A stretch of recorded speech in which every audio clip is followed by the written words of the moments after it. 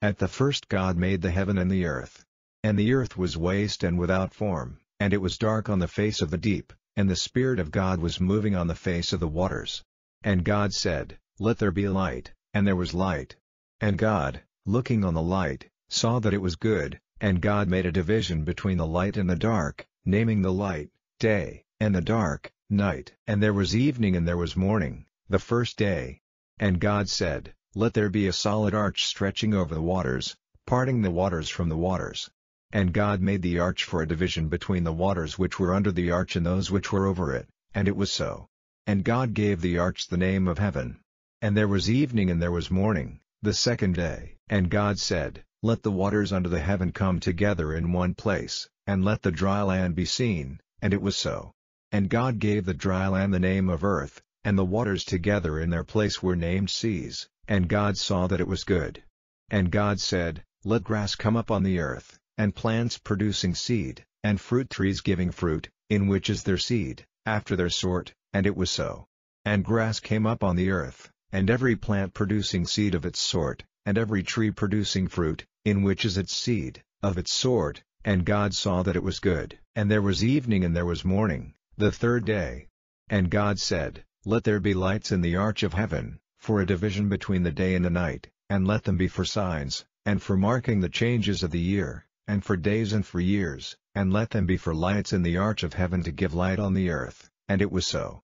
And God made the two great lights, the greater light to be the ruler of the day, and the smaller light to be the ruler of the night, and he made the stars. And God put them in the arch of heaven, to give light on the earth, to have rule over the day and the night, and for a division between the light and the dark, and God saw that it was good. And there was evening and there was morning, the fourth day.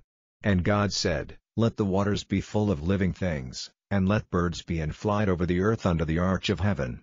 And God made great sea beasts, and every sort of living and moving thing with which the waters were full, and every sort of winged bird, and God saw that it was good. And God gave them his blessing, saying, Be fertile and have increase, making all the waters of the seas full, and let the birds be increased in the earth.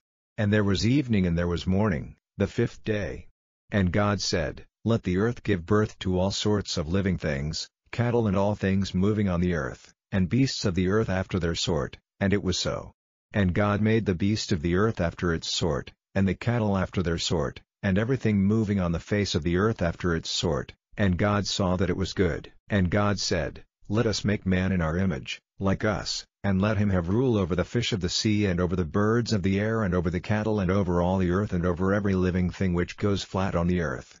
And God made man in his image, in the image of God he made him, male and female he made them. And God gave them his blessing and said to them, Be fertile and have increase, and make the earth full and be masters of it, be rulers over the fish of the sea and over the birds of the air and over every living thing moving on the earth. And God said, See, I have given you every plant producing seed, on the face of all the earth, and every tree which has fruit producing seed, they will be for your food and to every beast of the earth and to every bird of the air and every living thing moving on the face of the earth I have given every green plant for food, and it was so. And God saw everything which he had made and it was very good. And there was evening and there was morning, the sixth day.